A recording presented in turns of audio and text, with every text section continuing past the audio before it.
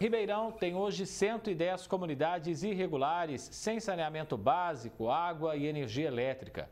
São milhares de famílias em situação desumana. O próximo prefeito terá um desafio grande para a política na área da assistência social. A comunidade das Mangueiras é uma das 110 que existem em Ribeirão. Quem mora uma vida inteira na favela sonha com melhorias que são básicas. Para arrumar rua, é, esgoto, né? Tem um monte de criança morando e precisa de uma limpeza, né? É, ah, é rato, é, mas assim, os bichos entrando dentro de casa, dengue. O que, que vocês gostariam? Ah, ter uma casa própria, né? E um lugarzinho mais organizado para as crianças, para brincar né, principalmente. É isso. Na outra ponta, moram as famílias que pagam impostos, água, energia e não têm infraestrutura nenhuma. Esgoto a céu aberto escorre pela Avenida Patriarca, na Vila Virgínia, e atrapalha a passagem dos moradores descarte irregular de lixo e lâmpadas queimadas. Essa sujeira, esses descasos que tem aqui na Patriarca, que eu não entendo, porque assim a gente paga imposto, a gente é tudo certinho, aí a gente se torna sem ter na onde ir alguém para ajudar a gente aqui.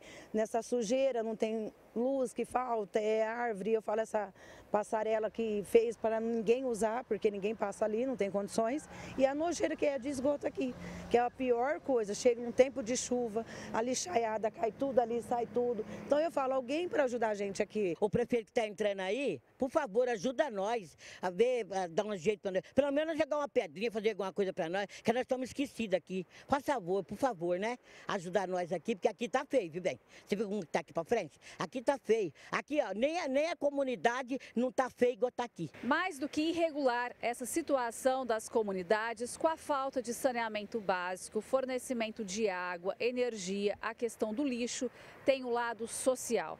Pessoas vivendo em condições desumanas, indignas e precárias. Um desafio para o novo prefeito de Ribeirão. As pessoas que estão ali, elas têm os seus motivos de ter o seu a construção por uma série de problemas sociais, falta de emprego, tudo.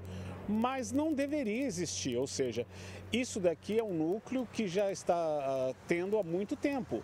Ou seja, também teve muito tempo para o poder público tomar uma medida, ou seja, há uma omissão do poder público que é, tira o privilégio de quem está legal para quem está supostamente na ilegalidade. Então, o que deveria ser feito pela assistência social era cadastrar todos esses moradores que não têm posse legal e colocá-los num lugar digno. Então, porque também eles não estão aqui, as pessoas que estão nesses núcleos, é, por vontade, muitas vezes por vontade própria. É por uma série de circunstâncias que ocorreram na vida de cada um. E diante disso, um dos caminhos é a regularização fundiária, quando a área permite. Ribeirão tem pelo menos metade dos núcleos passíveis de serem transformados. O município começou a fazer com os mais antigos em 2022. Um deles foi a comunidade Vitória, no Jardim Aeroporto.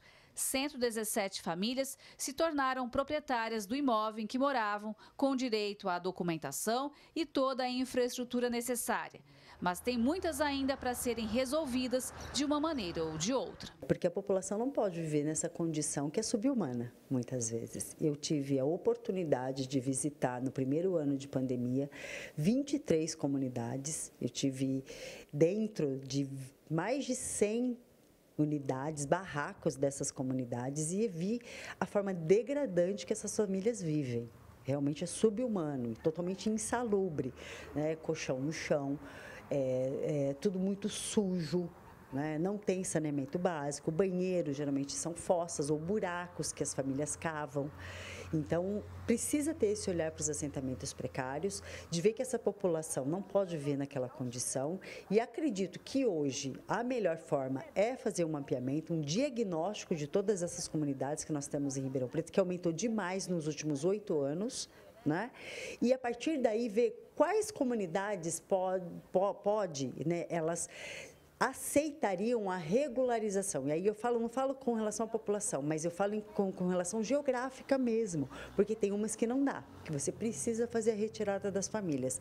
Mas tem outras que é totalmente possível fazer a regularização. E acho que é esse o caminho. Política de assistência social. Para quem debate o assunto, essa deve ser uma das prioridades para o próximo mandato. E é um trabalho bastante grande para resolver nessas 110 uh, pontos, né? que precisa. E a regularização daria posse às pessoas, elas teriam uh, que, em contrapartida, também cuidar da sua frente, porque também muito desses resíduos que a gente olha aqui pelas imagens são provenientes de descarte do ser humano. Então tem a responsabilidade é, da prefeitura, mas também você tem que corresponsabilizar o contribuinte. Já que a política de assistência social, a gente precisa lembrar, ela tem que buscar que o indivíduo tenha autonomia e protagonismo na própria vida. Então, o novo governante tem que ter esse olhar.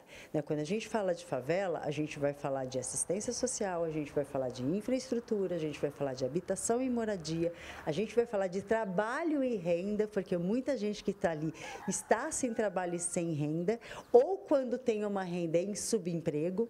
Então, é uma questão muito complexa e ele vai ter que ter esse olhar afinado, apurado e um olhar muito sensível para essa população das comunidades. Gislene Lopes para o Jornal da Clube.